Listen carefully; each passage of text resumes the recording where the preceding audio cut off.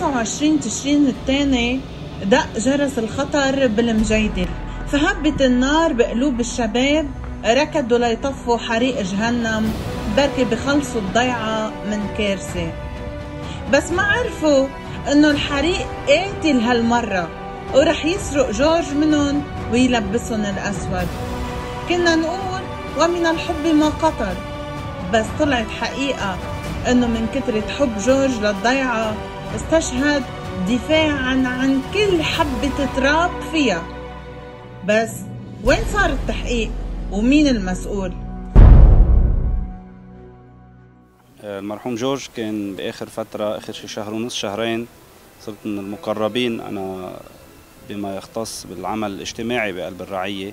فحبيت أوكل له مسؤولية زراعة القمح بقلب الرعية. يلي تقدم بواسطة أبرشية أستراليا وتوزع على الأبرشيات وكان هو رح يهتم بزراعة القمح وبالاهتمام بالمحصول ككل لحتى نرجع نوزعه فيما بعد لأولاد الرعية.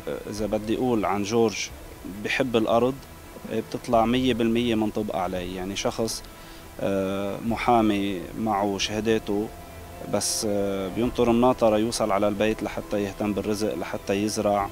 لحتى ينشي أرزاق متروكة يعني وهيدي شغلة كتير أساسية. شخصيا بشوف عنده حب الأرض بشوف عنده كمان محبة الفقير.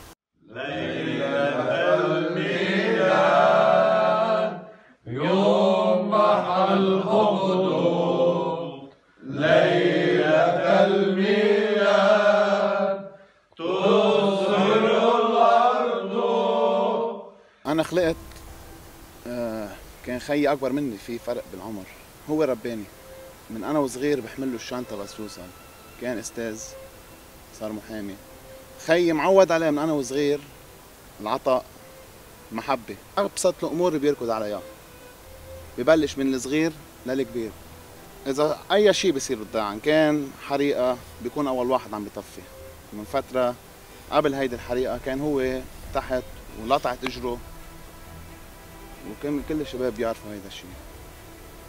ما في يحكي ما في أوصف خيي شو هو ما في كلمة تنوصف فيه. مش لأنه مات مش لأنه استشهد مش لأنه خيي لبنان كله بيحكي عنه. خيي كان كل شيء لإلي. هو كان بيي هو كان صديقي وكان خيي إذا كان بدي شيء كنت أقول له يا جورج ما ي... ولا مرة تزمر ولا مرة تعب. ما بيتعب. نحن كلنا كنا مرتاحين. راح وترك الحمل علي مدني قده ما بقدر يكون قده. هو من الأشخاص اللي ما بتحسي فيه بالبيت. مؤمن هادي محبينه كتار بيتنا مفتوح ان كان منه ومن بيي هو من الأشخاص اللي كتير رايقين على طول في عنده جو فرح. وقد ما حكينا ما فينا إنه في حقه. أستاذ جورج مثل ما الكل بيعرف هون بالضيعة يعني هو صديق الطفولة. يعني نحن ربينا سوا من أيام المدرسة لأيام الجامعة. فهو مثل خينا. خساره الأستاذ جورج هي خسارة كبيرة على المجيدل وعلى الوطن. يعني ما بعتقد في أسمى من إنه شخص يقدم حياته دفاعا عن ضيعته وعن رفقاته وعن أهل ضيعته. يعني هيدي قمة العطاء بعتقد. فاستاذ جورج هو خسارة كبيرة للمجيدل وللمنطقة. أستاذ جورج كان من الأشخاص اللي قلبهم طيب. يعني كان بكل القعدات نحن اللي بنقعدها هو يعني هو المحور هو الأساس بالقعدة. كان جو الفرح على طول. هو أستاذ جورج كان جو الفرح بقعداتنا. يعني أكيد رح نشتاق له. كل عطاءاته لأستاذ جورج كانت دون مقابل. يعني بكل شيء عمله بالضيعة وتقديمات وتضحيات كانت تضحيات مجانية. بالفترة الأخيرة كان كان شخص سائر. سائر على الفساد اللي بالبلد على التقصير من الدولة. يعني شخص حقاوي. ومثل ما بنعرف نحن كثير من أبناء المنطقة نزلوا على بيروت لأنه تحت يمكن في مجالات عمل أكثر أستاذ جورج كان كل يوم ينزل يشوف دعاوي ببيروت ببعبده وبطرابلس ويرجع على ضيعته. فأنا برأيي أستاذ جورج شخص استثنائي نادرا ليتكرر هيك أشخاص بتضيع عنا بلبنان. نحن عايشين بجونة عايشين مرتاحين ومبسوطين. أنا بس جيت على الضيعة وقعدت مع الشباب الطيبة. اللي جورج قعدني معه. عن جد بتلاقي شيء مش موجود مش موجود أبدا عند حدا. بيعطوا بلا بلا بلا بلا مقابل. هيدي هيدي شغلة مش موجودة ولا بأي ضيعة بلبنان. مش بس مش موجودة ببيروت كمان مش موجودة بالجنوب. كنت إجي على الضيعة أنا اقضي النهار أغلبيته كله معه. يعني أنا قبل ما إجي على الضيعة كنت أتصل فيه واصل على الضيعة. من وقت ما أوصل على الضيعة أقعد معه. ونرجع نروح عند الشباب. آه، مرة بدق لنا كريم بالليل. آه كان طالع كريم من الصيدلية شاف شيء مش على قلت له جورج عم بدق كريم شو عندك؟ الساعة عشرة ونص كان قاعد عم بيريح كان تعبان كل النهار. نطينا أنا وجورج كنا كنا شفنا كريم وين رايح. آه بدق دكتور الياس كمان بأي وقت الشباب كلها جاهزة وجورج من أولهم. هو الشباب اللي قراب من جورج آه بيقتلوا حالهم من كبيرهم لصغيرهم. ما حدا ما حدا بيقلل بالعطاء معه ابدا. قد ما كان هو يعطي وهن الشباب شباب هالضيعة بيعطوا. كان تخطيط بالأرض كلها اللي عنده كان عم بيشتري أراضي عن جديد وكان كان الزراعة عنده أساسية. أستاذ جورج قبل ما يكون داعم للبلدية مؤخرا يعني البلدية اللي على عهدي صار أربع سنين. بس جورج كان يعني مثل خي لنا نحن وصغار. يعني ما وقفت الأمور عنا على البلدية. يعني نحن إذا كنا بدنا نعمل مشروع على صعيد ضيعة بغض النظر كنا بالبلدية ولا ما كنا بالبلدية كان من الأشخاص اللي هو داعم لفكرنا لطريقة تفكيرنا. يعني لا شك بدنا نقول شغلة إنه جورج من الأشخاص المثقفين بالضيعة. اليوم أنا ما في يعني آخذ جورج أنا كشخص عادي اليوم في طبقة مثقفة وجورج يعتبر من الأشخاص المثقفين بالضيعة. قديش هو عنده قدرات يشارك لدعم مشروع معين ما كان يقصر وما كان يتعب. بتحكيه 12 بالليل وحدة تنتين بتلاقيه على طول جاهز. بيقدم الخدمات القانونية لأن نحن مثلا استشارات بنطلب في محامين عندنا بالضيعة وهو من الأشخاص المحامية يعني اللي عندهم مستوى معين من القانون وخاصة إنه عمل دراسات عليا. يعني كنا بس بدنا نستشيره بموضوع قانوني كان دغري لبينا أستاذ جورج. وهو من هو وصغير أستاذ جورج يعني كان توجهه إنه هيدي الضيعة تزدهر تبين تبرز بالمنطقة على صعيد لبنان نفرجي عنا القدرات الموجودة نفرجي عنصر الشباب نفرجي نحن شو في عنا بالضيعه مقومات نقدر نبرزها نقدر نساعد فيها على صعيد المنطقة. وهو كان من هذا التوجه أستاذ جورج. ميزته كانت التواضع. كان حبه للضيعة شغفه لل لضيعته لخدمة ضيعته كانت كثير مهمة. آه، مثل ما قالوا الشباب كان يخدم بدون مقابل. كانت آه، عنده حيثية معينة بالضيعة. آه، اندفاعه لكل حدث بيصير بالضيعة. إن كان حدث بلدي أو حدث اجتماعي كان هو يكون براس بالطليعة بهالموضوع. نحن نفتقد ل... لكل يعني شغلة كان يعطينا إياها لكل آه، نصيحة كان لنا إياها لأنه كنا بنعرف إنه كانت نابعة من القلب كانت نابعة لحبه للضيعة آه، تعلقه بالضيعة وحبه للشباب.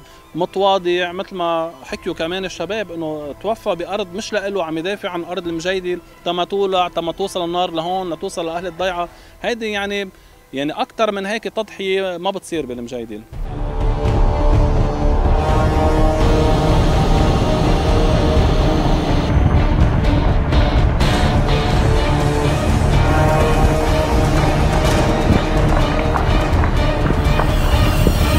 هون أنا مارون لقى هيدي. الشرطي لقى هيدي. اذا بتريد أستاذ بتحكي حيلا شيء ادله جنائيه لأن أكيد في بصمات عليها هاي شمعه وقنينه وحجار هيدي مولعة ومش آخدة. في أكيد غيرها مطارح آخدين. هيدي كمان اليوم بدها تكون. لو ما انكسر لو ما انكسر كان طلع هو جبل. جبل بيطلع. ولا مرة علق. في ناس بالضيعة الحريقة اللي قبل شافته طالع من قلب النار. يفوت بالنار ويطلع منها. هيدا جورج. هيدا خيي. الأكيد أنه في مطارح آه، الحرارة الكبيرة هي عم تعطي الحريق بس آه، في مطارح كثيرة في حرائق مفتعلة. في آه، ناس عندها رغبة شريرة وفي مطارح تانية إهمال من قبل الدولة ما عم بتخلينا نقدر نوصل لمطرح نطفي بسهولة أسرع يعني.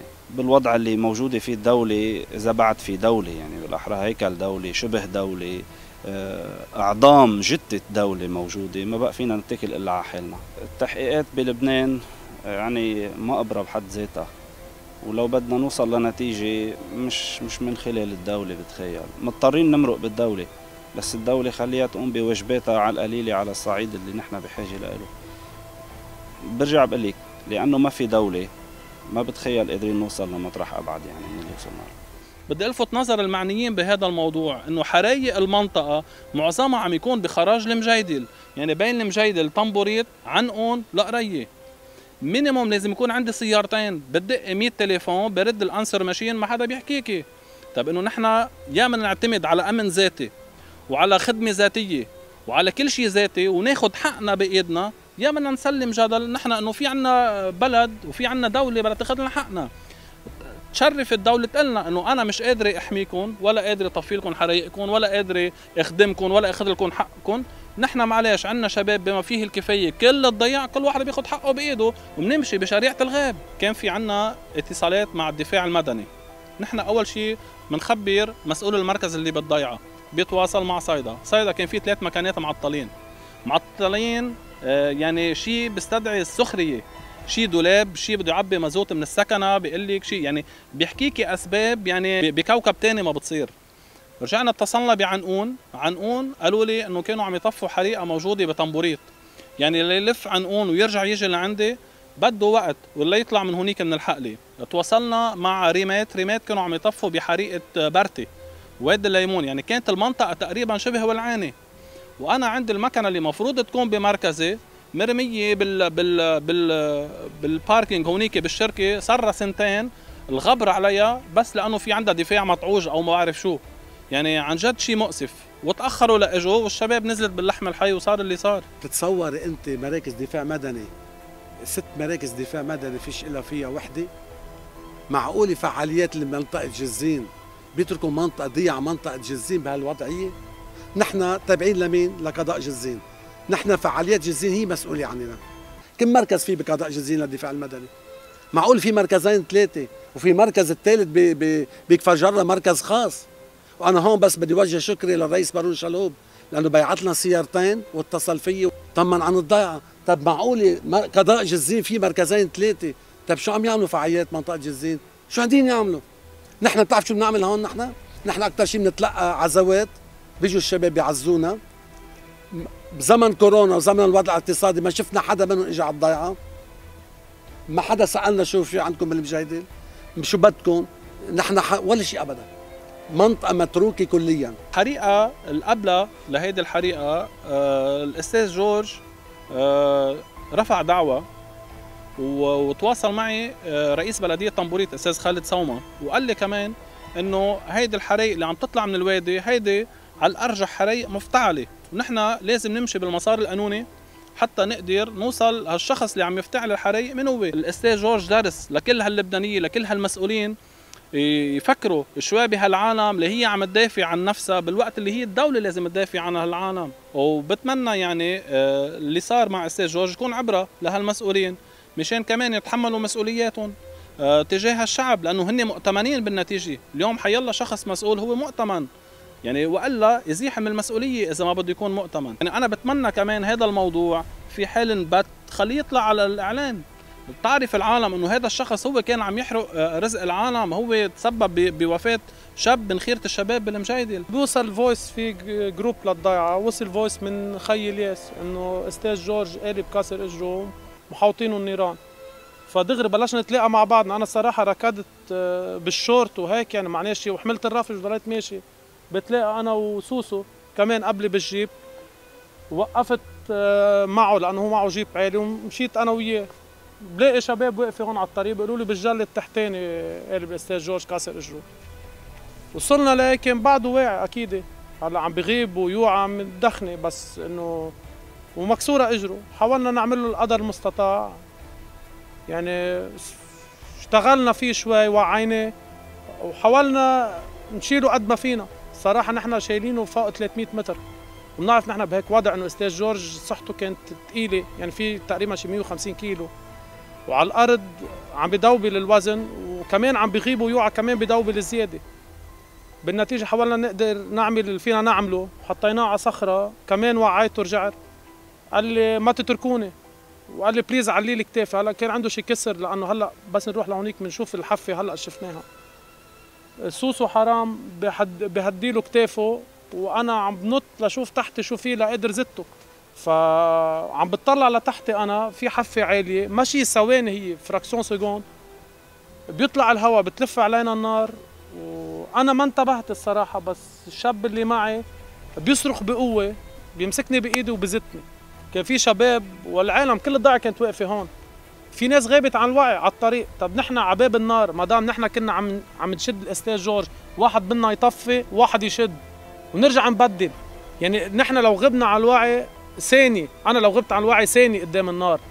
ما تتصور قوة النار. هلأ حكي بتشوفيها عن بعيد. بس أنت بس تكون بعيد نص متر عنك كان عم طفي على الجاي للاستاذ جورج نحن. الاستاذ جورج آه، شهيد الضيعة وأكيد ذكراه بده يكون مؤبد. بالضيعة وللأجيال القادمة لهذا البطل الفدى ضيعته بروحه.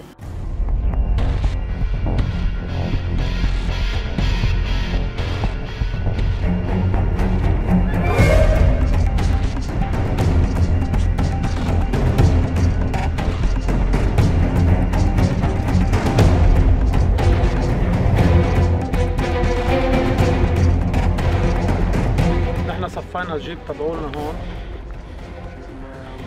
بس قالوا إنه جورج وصلت النار لاي وقارب كاسيجو أنا دغري يعني رياكسيون انفولونتير رحت دغري على النار. سوسو حرام نزل من هون ومشي بالحفافة. بس لنشوف وين. ضليتني راكد أنا لأنه النار سماعها تحت أنا طالعة وبيني دخلتها. ركضت هون أنا بلاقي شاب شباب وقفوا هون الاستاذ جورج. هي تحت بعده عايش بس اجره مكسورة.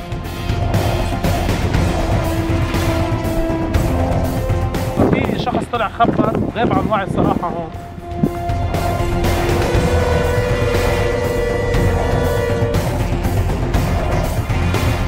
لي جلان بتلاقي فيه هون كان خيط هلا هذا محروق أكيد. خيط نايلون عقوة النار محروق. وهلا بس نزلت لتحت أنا شفته وين قالي يعني القلب اللي قلبها هو بار ما اجره لورا. يعني أكيد علو عندك فوق الاربع امتار وبيني ما هو نازل نزول هيك.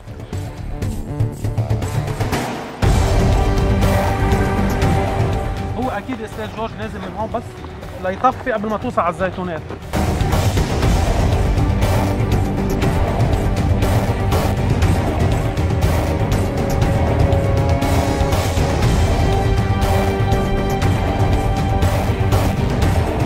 بقدر هالحفه يعني بهال بهالحفه يعني يا هون يا هالمرحلة هون هو اللي قالب فيها الاستاذ جورج ومروح اجره هيدي هي الزحطة جاية تحت. نحن وصلنا ليلى الاستاذ جورج كان بهالمنطقة. لأنه بالمبدأ اجره فلتانه يعني ما كانت إنه كسر طبيعي أو يعني زاحة من محلها كليا. نحن وصلنا ليلى الاستاذ جورج بهالم... بهالزون كانت هون. هاي النار طالعة من تحت هيك. بهيدي المحل. أنا حط إجا تلعب بالهواء يمكن يا حرام. هون راح إجا تحت. قايم ماشي مع الشباب كانه قبل ناي لهونيك هيك أستاذ جورج كان بهالمحل نحن حرام كان في شاب صغير. آه، ضميريا بنحكي ما تركوا لاستاذ جورج. نحن آخر ثانية قلنا له please لله اطلع لفوق. حرام هو طلع. يعني الحمد لله الله بحبنا انه تركنا هذا الشاب كانت النار جاية من هون طالعة من تحت ولعانين هودي الزيتونات بالحفة هون. والنار بدها متر بتاكله. كان قاعد يعني وضع وجهه مكسورة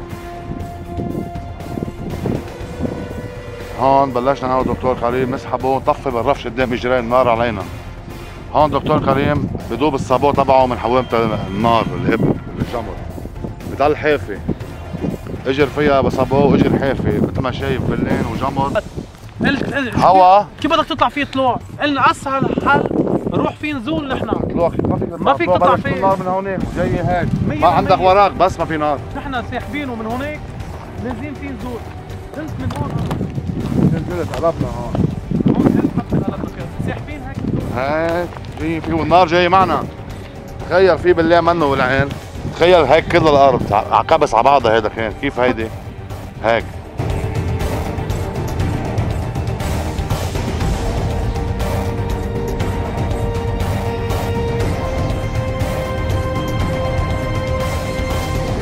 الوضع ما كان هلأ مثل ما شايفوا أنت. بالليل كان يعني علوم مترين نحن مش شايفين شو في تحتنا. يعني هول الحفاف اللي مبينين نحن مش شايفينهم. نحن بس على ضهرنا لهون مش شايفين شيء قدامنا. بعدين هوا مش عم تحكي هيك وضع عم تحكي هوا وعم بت يعني عم تحمي قدامها وترجع ثواني.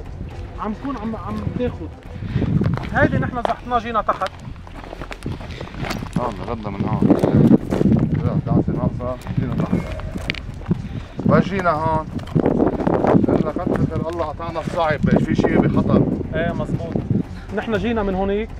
هي وهذا الرافج كنا عم نطفي فيه. وصلنا لهون قلت له أستاذ جورج بس ننطر الشباب لتوصل لينا حرام قال لي هديلي كتافي ام حرام سوسو بيقعد وراه وبهدي له كتافه. وصارت هون إيه ما تتركوني. هو كان عارف قلت له أستاذ جورج أنا ما بتركك. هون ما كان في نار. يعني هيدي هون كان كلها بالليل بس أنا تقديريا إنه عرفت وين وين صرت.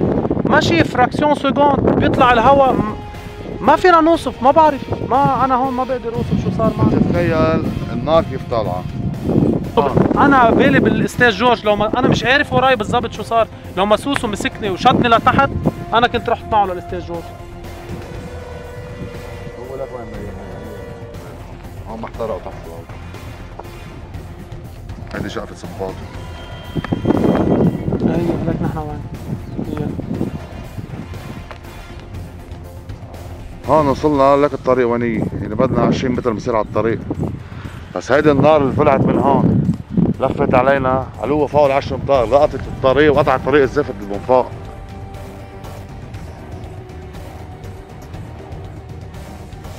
لا لا هو شخص ما ولع هو خنيق راح أستاذ جورج. هيدي كمان أنا ما بسمع من العالم إلا بقول له حرام ولع هو ما ولع أستاذ جورج. كان ميت قبل. إيه ما ولع لا صرخة لا تحرك لا شيء بس قطعت النار من هون. ولا شيء قطعت من فوق لطعته. بس ما منه دخن يعني جلده ما دخن. عرف كيف؟ شكله بعده هو ذاته. شعره مش محروق. شعره مش محروق.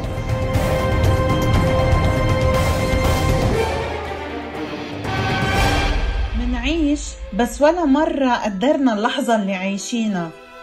منجتمع منضحك منتزاعل ومنتراضى. وكأنه ضامنين بكرة وكأنه تحصيل محصل. بس نحن بلبنان. منعيش وما منشبع من الحياة. وشو منسمع الحياة لبقت إلك. بفوت بعبي المحل حياة فرح مرح مشاريع وبيثبت وجوده. بس نحن بلبنان. قالوا لنا جهنم بس ما اكتفينا بالوضع الاقتصادي والصحي. كان من الضروري يعملوا لنا شوية امبيانس الحرايق بمنطقة جزين جهنم ومفتوحة من الجبل للوسط للساحل. ولأنه نحن بلبنان لازم نتكل على حالنا. بس ما توقعنا يكون التمن هالقد غالي. خيرة شباب لبنان بالمجيدل كم جورج بعد بدكن نخسر لتنهز ضمائركن الشباب عم بيحضروا ليعملوا مزار على أول الضيعة لحتى يكرسوا آه، ذكرى المرحوم جورج. وبنفس الوقت آه، أنا شخصيا بعتبر أنه مرحلة 25 تشرين الأول آه، شبهتها وقت كنت عم بحكي مع الناس نهار الدفن شبهتها بأربعة آب. أربعة آب كان كارثة على صعيد لبنان 25 كان كارثة على صعيد آه، المجيدة نحن اعتبرناه بالمجاهدل هو شهيد شهيد المجاهدل وفعلا شخص استشهد مش بأرضه استشهد عم بيطفي الحريق باللحم الحي معه رفش عم بيطفي ليمنع الحريق يمتد على الضيعة. فاللي صار معه إنه انكسرت إجره لأستاذ جورج ووقع وهذا الشيء أعاق تحركه ضمن النيران. فإن شاء الله نفسه بتكون بالسما بس اللي بدي أقوله أكيد في إهمال وفي تقصير من الجهات المعنية. كانت الأرض هي حياته. ومات الأرض يلا يلا برافو برافو. Música